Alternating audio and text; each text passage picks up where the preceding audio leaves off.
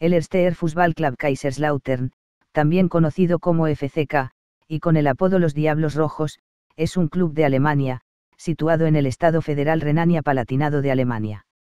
Su fundación data de 1900, pero no fue hasta 1931 que adoptó su nombre definitivo de Fútbol Club Kaiserslautern.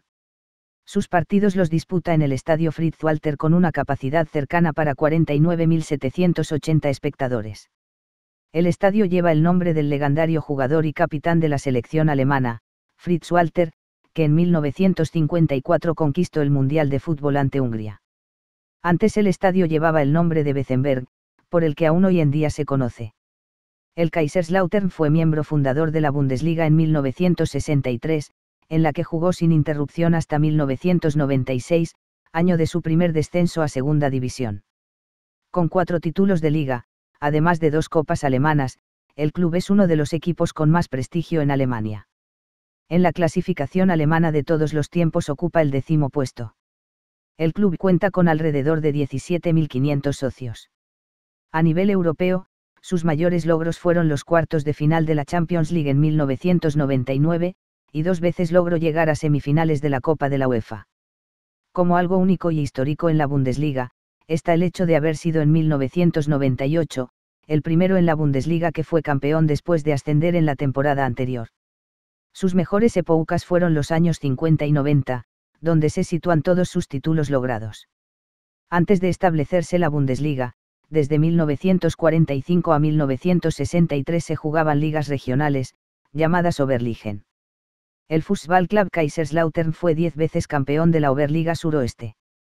Los campeones de todas las Oberligen, clasificaban para jugar el campeonato de Alemania. E ahí en 1951, el club se coronó por primera vez campeón alemán al imponerse contra el Preußen Münster por 2 a 1. Dos años más tarde, en 1953, logran su segundo campeonato de Alemania, al imponerse a su ferrimo local rival VfB Stuttgart por un contundente por 4 a 1. El año siguiente lamentablemente perdieron la final sorprendentemente por 1 a 5 contra el Hannover. En esa época el Kaiserslautern aportó varios jugadores a la selección alemana que fue campeona del mundo. Una vez en la Bundesliga, el club tuvo una buena racha de cinco temporadas seguidas de 1978 a 1983 clasificándose continuamente para la Copa de la UEFA.